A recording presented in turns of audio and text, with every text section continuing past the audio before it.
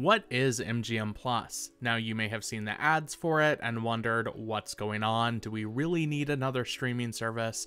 Well, I have tried it out and I'm going to go through everything you need to know about it including whether it is worth signing up. Now, MGM Plus is actually a rebrand of the premium cable network and streaming service that was previously known as Epix. The reason for this rebrand is that Amazon now owns Epix and they're trying to inject a little more oomph and a little more value into it by making new shows and pushing a new marketing campaign and they apparently thought that the MGM branding would be a little more recognizable than Epix. On MGM Plus, you can watch all of their movies and TV shows completely ad-free, save for some short promotions for other TV shows on the service, which you can usually skip past. Now, their content selection is a little more limited. By my count, there are about 250 movies that you can watch with your subscription, these include movies from MGM as well as from Paramount. You'll find recent blockbusters like Top Gun Maverick, The Lost City, No Time to Die, House of Gucci, Smile, Jackass Forever, and Orphan First Kill. There's also a library of movies from throughout Hollywood history, including The Wolf of Wall Street, Silence of the Lambs, Rocky, 12 Angry Men,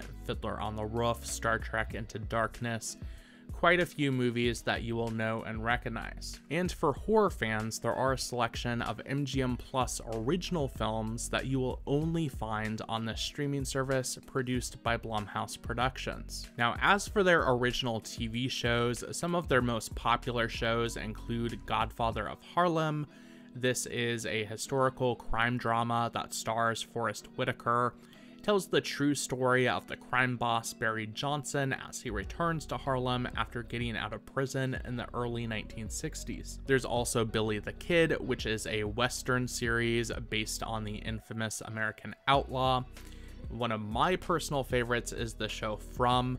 This comes from the uh, Russo brothers that are known for their Marvel projects and various different movies, but it is a thriller horror series about this town where anyone who drives through it gets stuck there permanently and the town is haunted by these monsters.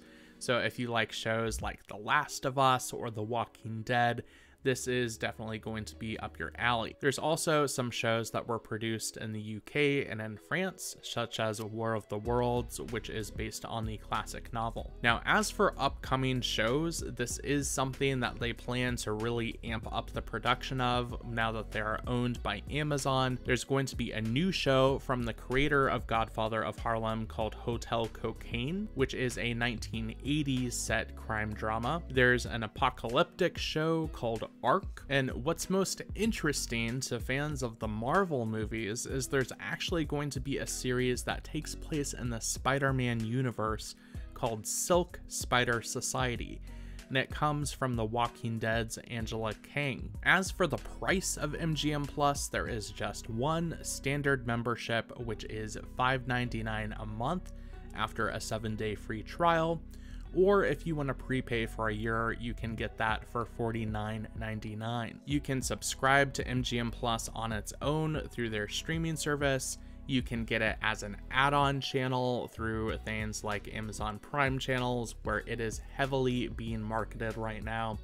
Or, of course, you can also get it with a cable package where you get the cable channels that were previously known as Epix, as well as access to their streaming. Now you might wonder, what did happen to those cable channels? Well, they still exist, but they have now been rebranded with MGM Plus as well. And if you're subscribed to MGM Plus, you can watch all four of these live channels through their app as well. Now, as far as the features of the app itself, if you're looking to watch content in 4K, their selection is very, very limited. There are a few movies and TV shows you can watch, but there are some, such as the films from Paramount, which you can watch in 4K on other platforms, but not on MGM. There is support for offline downloads as well as parental controls.